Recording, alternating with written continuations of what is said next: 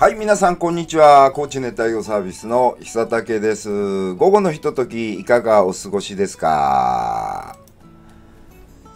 超レアな個体。超レアな個体を今撮影しています。というかね、どうなんだろうね。